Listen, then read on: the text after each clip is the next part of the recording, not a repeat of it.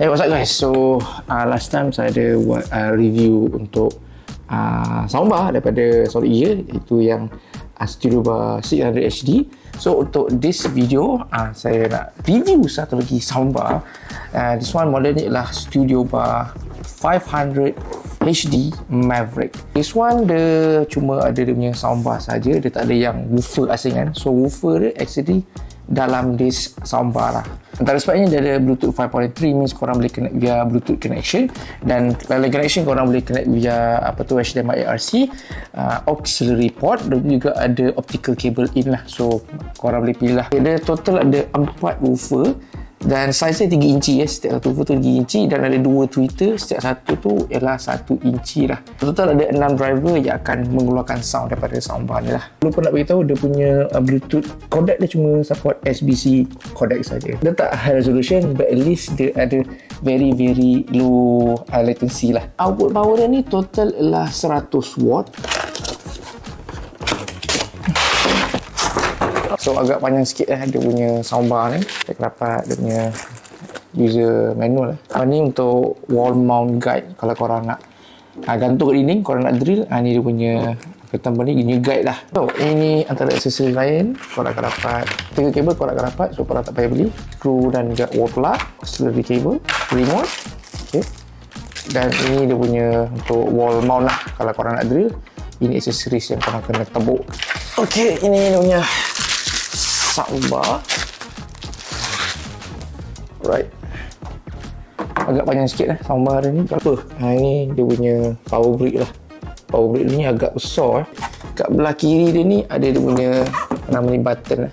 Power button ada volume controller ada dengan dia ha, source dan port. Port dia semua ada kat belakang sini lah. So korang boleh pilih lah mana connection yang korang nak guna. Oh jom. Kita set up this soundbar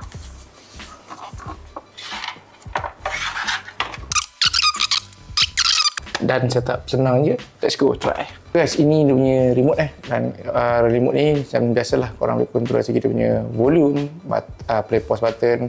Uh, dan ini korang boleh pilih lah sama nak connection by bluetooth pakai HDMI ARC sini uh, optical cable USB ataupun auxiliary cable.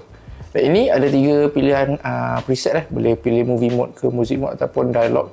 So dalam ni uh, untuk dia akan fokus kepada vokal lah. So macam kata kalau korang nak dengar podcast ke ataupun dengan radio ke uh, ni lebih elok lah pakai this one.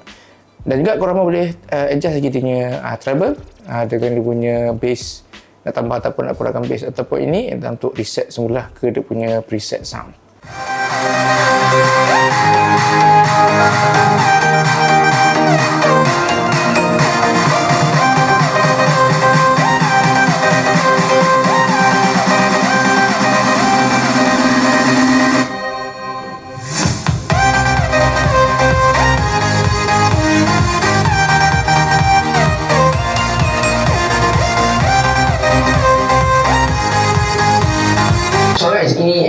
Amplifier W800DT Pro. Antara sebabnya dia ada Bluetooth 5.4 Dia ada support Active Noise Cancelling Berserta Transparency Mode Bluetooth codec ada cuma support AAC berserta SBC codec saja. Dan dia pun ada support High Resolution Audio Tapi ini via Wide Mode saja. Dan saya tahu ialah 40 FM Single Dynamic Driver. Dia punya battery life boleh bertahan Up to 45 hours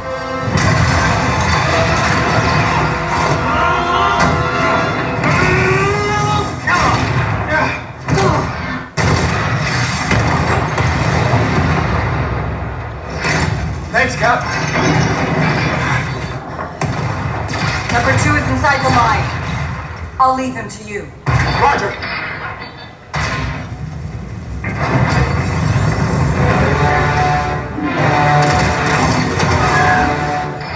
So right guys, ada kongsinya uh, Sonic Gear Studio Bar 500 HD Maverick ni Kalau tengok harga dia lebih kurang RM359 Ada khabar tu korang kan.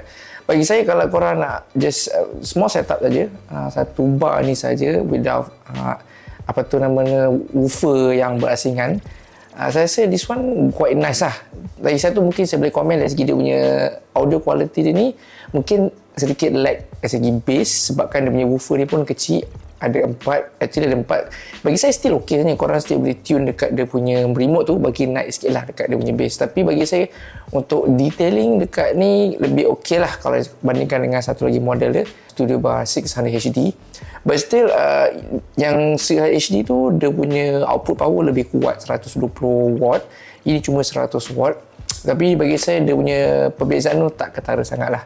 So kalau korang nakkan yang this one lebih murah sikit still nice. Audio quality still okay. So kalau korang nak dapatkan studio bar uh, 400 HD ni uh, saya akan sertakan link di description. So guys that's all for this video. Hope you guys enjoyed. Don't forget to like follow and subscribe to our channel. And I'll see you guys in the next video